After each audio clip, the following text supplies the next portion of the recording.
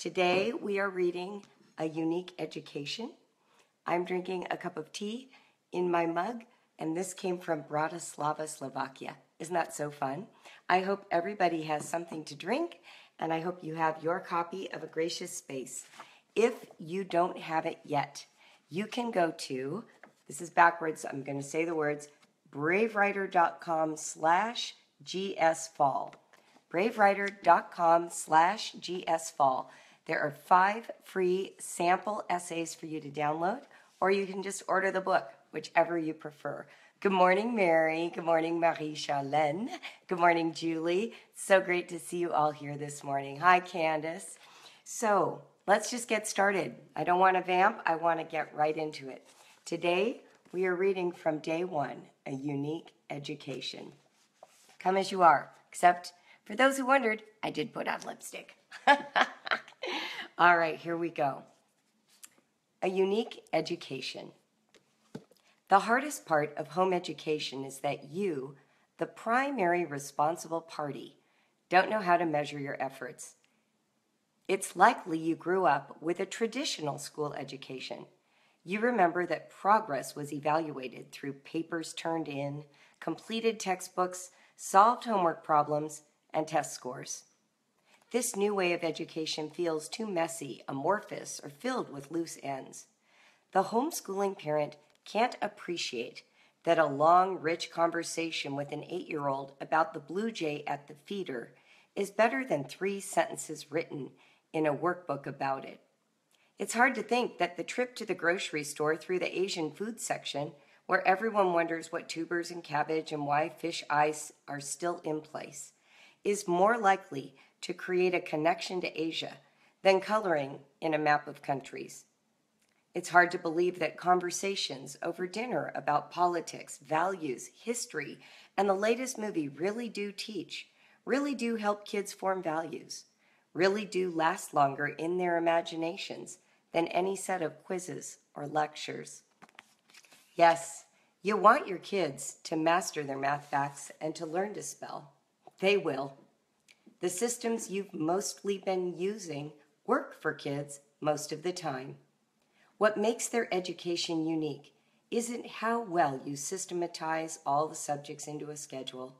It's how well you share your enthusiasm for life, learning, art, literature, the power of math, to create quilts and build forts or sell cookies, the excitement of an election year to convey the importance of politics, volunteering in your free time so that your kids learn about sharing themselves with others, and finally, your enthusiasm for them. These human beings entrusted to you that you admire, respect, and for whom you hold an enormous imagination about how well they will contribute to the world as adults.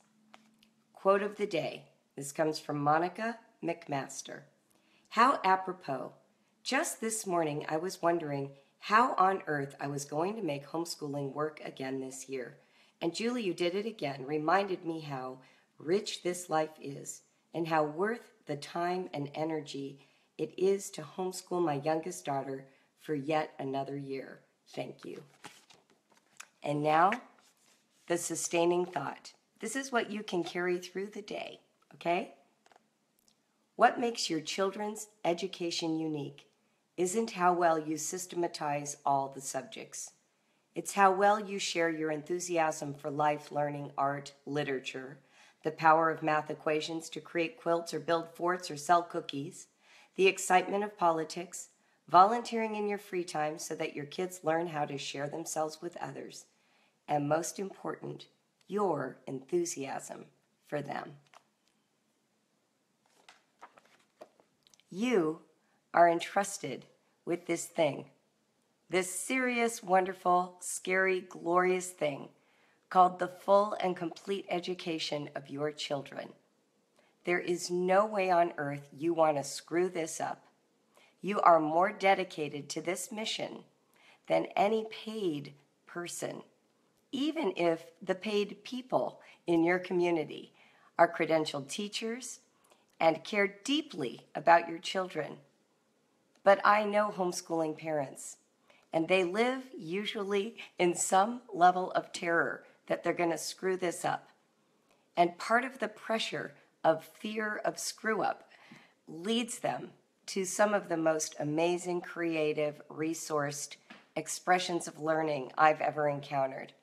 And what you can do when you are in that moment of terror is remind yourself that you've chosen a unique education for your children.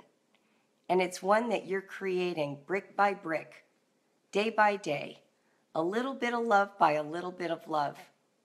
And it's okay that some days don't go perfectly, and it's okay that you aren't quite sure what to do, because all that does is incentivize you to get better at your job, to do a better job, to find resources and other people on the journey who can point along the way and help you figure it out.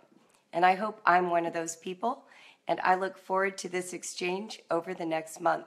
I want to look real quickly. Did anyone ask a question? Let's see. Oh, look at you, Mary, still in bed. I love that. Good morning.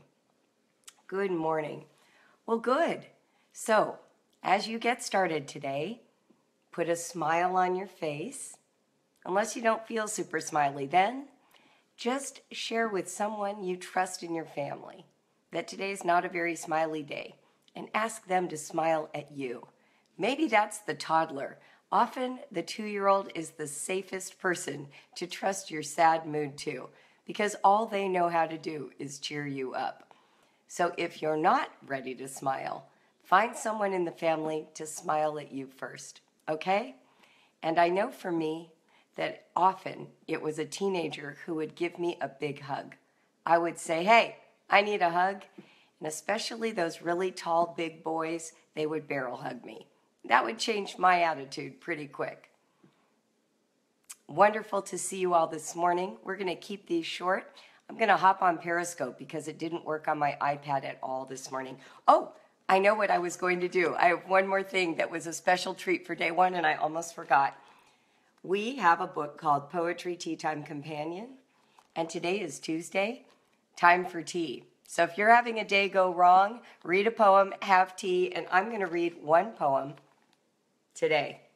These are going to happen every single morning, right when I wake up. Today was at 8. I'm going to shoot for 8 in the morning, but you know, some days it might be 7. If I'm going running, it will be 7.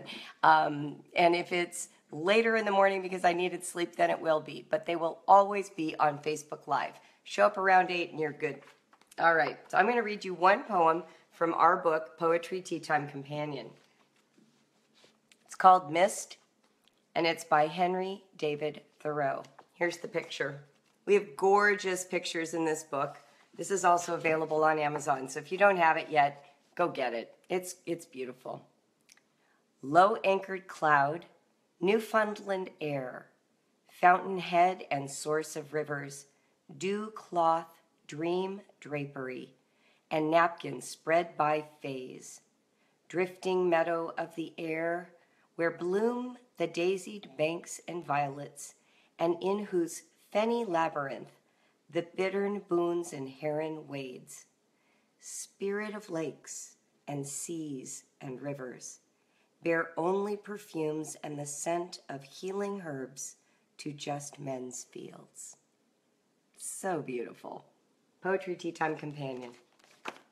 Thanks for joining me this morning. I'll be back tomorrow. And if you want to see me on Periscope, I'll be on in just a second. Have a great day, everybody. See you tomorrow morning.